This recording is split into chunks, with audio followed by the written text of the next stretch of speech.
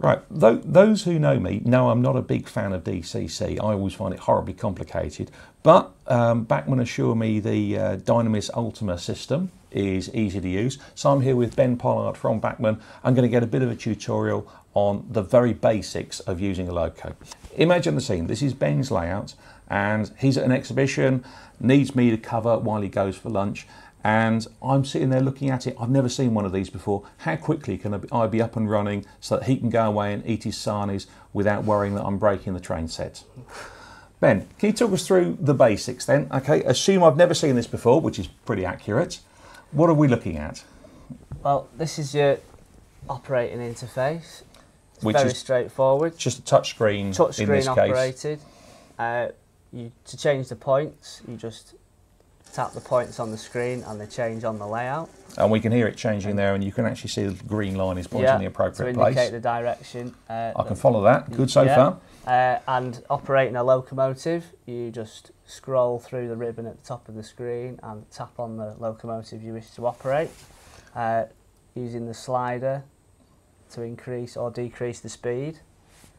And I've got all the options on the buttons here telling me what I'm doing. Okay, so I'm looking at the castle here, which you've selected just simply by tapping it Yeah. on the ribbon.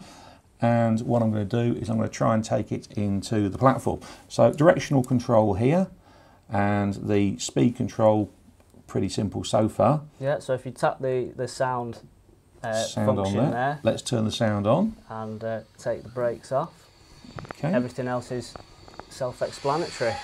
Now, it's showing me um, the speed here. This is what we call real speed. How, how's that set? Uh, it's the all set in the software. Uh, sorry, just have to do that. Uh, it's all set in the software. Uh, when you upload the profile of your loco using the, the setup screen, uh, the software takes care of the acceleration and the deacceleration for you, so you don't need to change the CVs. And so all this is set by downloading effectively what we call a profile from the Bachmann website. Uh, it's Or already set- already included in the software, Right. so you don't even need to do that. As soon as you upload the software onto your computer, the Okay. full database Right. of, of every DCC ready loco is already in there. And presumably you can you can write your own as well. Press the brake button there, just uh, as we've gone through there. Okay, and no problem. Just touch the screen. You can do. You don't have to have a touch screen monitor, do you? Presumably you can do this with a mouse and uh, keyboard if you've not got the touch screen on your laptop or whatever. Yeah, it works just as well with a cursor. So, I mean, it's nice. It's nice to be able to touch the screen here. But I mean, if you, you this will run on pretty much any laptop. You're, you're telling me earlier. Yes, yeah, any uh, computer that's got uh, Windows operating system with XP or newer, uh, it will work quite happily on there. So, yeah, really, really simple. You can you, you don't have to buy the latest gaming PC or anything like that. This will this will run. Uh, that's that's taking off very nicely like a scalded cat. So let's wind that down a bit and let it run. Um, it, what are the limitations? Um, how many locos can we have on this? Uh, well, you can operate uh, up to four locos on screen at any one time. Uh, where, as to having things running, you can, in theory, have as, as many locos running at once as you like. Uh, to individually control locomotives, you can have up to four on-screen throttles. You can still operate trains with the Dynamis handset at the same time as operating trains with the software.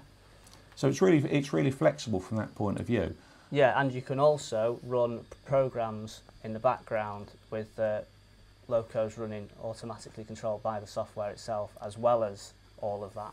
Okay, brilliant. One of the features I like is that all the buttons on the uh, touchscreen are labelled, but what happens if I haven't got all those features? I mean, this is a the, the, the, this is a very fully featured loco with all the sounds Yeah. and everything. What happens if I've got a basic out of the box, um, no no no sound loco? Say the um, 24. Well, if you tap on the Class 24, it will bring up the throttle that you would expect to see on a loco that's only got lights.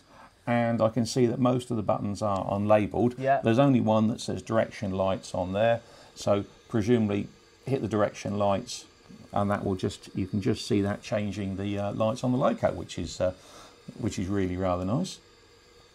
And that again will so there's no sitting there worrying you're telling me about what how many functions I've got or anything like that. It's just if the if the functions are available, they're on the uh, pad. Otherwise, forget about it. Yeah, well, when you upload the profile uh, in the database, this is all done for you. Oh, brilliant! So, like with the castle, it's fit comes fitted with sound. Uh, so straight out of the box, you put it on the track, you upload the profile, uh, and this will all be filled out for you. Great. So so even even an idiot like me can find the um, can find the coal shoveling um, Yeah. noises really quickly, and I'm sitting there. I'll be honest. This is going to be playtime. right. I better take this. I better take this off the layout. So if I do that and then drive it forward, turn the coal shoveling off.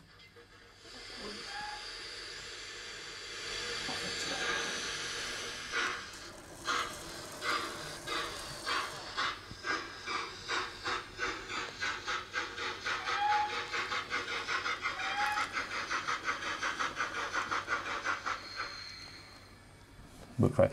Right. You left the brakes on. I left the brakes on. I, th- th- I told you this. Is, you, you're going to have to panic a little bit while you're at your sandwiches, but actually, to be fair, I think I think I can get the hang of this. Give me another five more minutes, Yeah, and good job on patient. yeah. Thanks very much, Ben. really appreciated.